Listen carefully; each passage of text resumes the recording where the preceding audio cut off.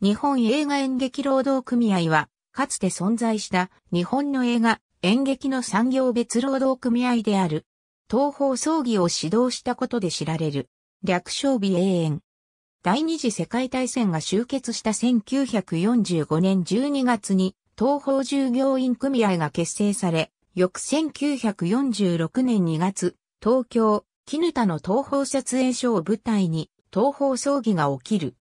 同年4月3日、産業別組織である全日本映画従業員組合、同盟が結成され、他の映画会社の労働組合らが同葬儀を支援、同年4月28日に結成されたのが日本映画演劇労働組合である。同組合は全日本映画従業員組合同盟と東方十組他映画の労働組合、劇団の95分会、12,662名を結集した三別炭素であった。日活労組は不参加、地方小劇場も参加していない。委員長には映画プロデューサーの伊藤武夫が就任した。同組合東方支部から脱退した従業員が第二組合を結成して分裂1947年5月1日1500名が全国映画演劇労働組合を結成。全員が東方第二撮影所に設立された新東方に入社する。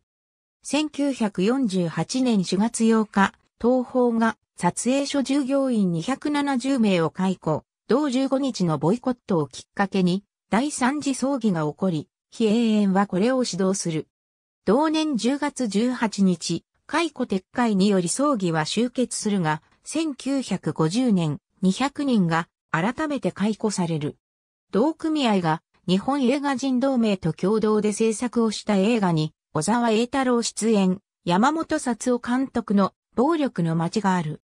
1952年2月28日、第9回組合大会で解散を決定。翌日の同年3月1日、将来の大統一、永遠総連合の結成を目指して、日本映画演劇労働組合連合を結成。大英の村山光夫が同労連の議長に就任した。